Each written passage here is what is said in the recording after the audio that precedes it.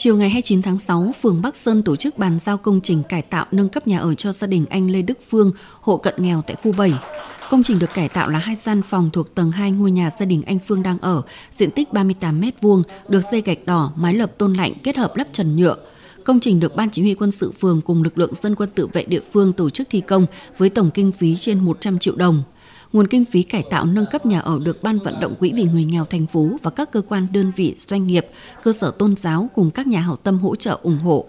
Sau khi sửa chữa ngôi nhà khang trang và vững chắc hơn, giúp các thành viên trong gia đình ổn định cuộc sống vươn lên thoát nghèo. Được biết đây là một trong những hộ cận nghèo có hoàn cảnh đặc biệt khó khăn tại địa phương. Bản thân anh Lê Đức Phương bị tâm thần phân liệt, khả năng lao động hạn chế. Vợ anh Phương làm việc không ổn định, thu nhập thấp, hai con còn nhỏ, đang đi học, gia đình anh sống cùng với bố mẹ đẻ tuổi cao sức yếu, kinh tế gia đình bấp bênh. Trước khi cải tạo, ngôi nhà có tổng diện tích gần 30 m vuông, không đủ diện tích nhà ở theo tiêu chí đa chiều. Tại lễ bàn giao, lãnh đạo Ủy ban Mặt trận Tổ quốc thành phố cùng đại diện các đơn vị phòng ban ngành thành phố, các nhà hảo tâm và khu dân cư đã tặng nhiều phần quà và tiền mặt và đồ dùng sinh hoạt, đồ dùng học tập cho gia đình anh Lê Đức Phương.